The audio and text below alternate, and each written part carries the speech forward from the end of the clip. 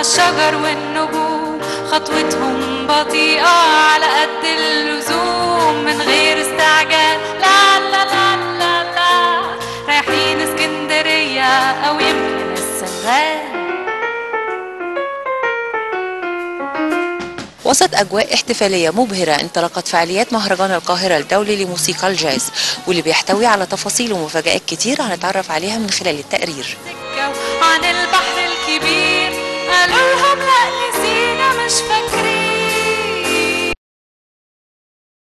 مهرجان السنة دي مدته تسعة أيام بيبتدي آه، النهاردة 31 آه، أكتوبر وهيستمر إلى 18 دولة وعندنا 22 عرض رئيسي بنقدمهم آه، و بيقام طبعا في جامعة أمريكية بالقاهرة اللي إحنا بنشكرها على استضافتها وبرعاية الاتحاد الأوروبي وتمويل التمويل منه و- ووزارة الثقافة طبعا المصرية وعدد من المنظمات. آه، ب- ب- البرنامج الرئيسي فيه 22 عرض وكمان في عندنا برنامج هامشي بنقدمه السنة دي غني بفعاليات كتيرة منها الأفلام وورش العمل التفاعلية والندوات حوارية وبرامج الأطفال وجام سيشنز من أول سنة لغاية دلوقتي التطور هايل لأن أنا لقيت إن في فرقة من أستراليا ومن آه، إيطاليا ومن البرازيل ومن إنجلترا وألمانيا. فده تطور هايل يخدم السياحة في مصر لأن المهرجانات دي بتلم ناس من كل أنحاء العالم.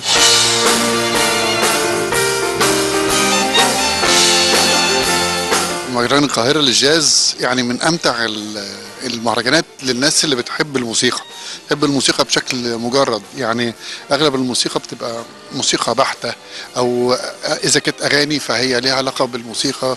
ودايما بلاحظ يعني يعني حب المؤديين أو الفرق وكمان ال- اللي بي- بي- بيحضروا الحفلات دي بشكل مختلف. يمكن زيادة شوية في المهرجان ده ودي حاجة جميلة. شيء كويس بالنسبة للموسيقيين المصريين اللي بيحاولوا بيحاولوا يلعبوا النوع ده من المزيكا آه، أو يجوز بيحاولوا يلعبوا النوع ده من المزيكا مع لمسة من موسيقانا الشرقية.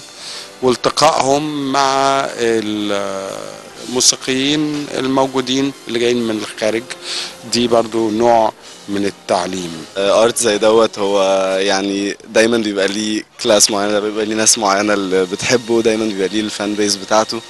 وعادة الحاجات دي بتبقى أصعب إن أنت تلاقيها في القاهرة وأصعب إن أنت تلاقيها في في العالم العربي بشكل عام. فلما نشوف event بالحجم دوت وبال talents ديت وبال international bands شبه ديت بيبقى الواحد excited يعني بقى ليه سنين على قدر الإمكان بحاول أجي يعني.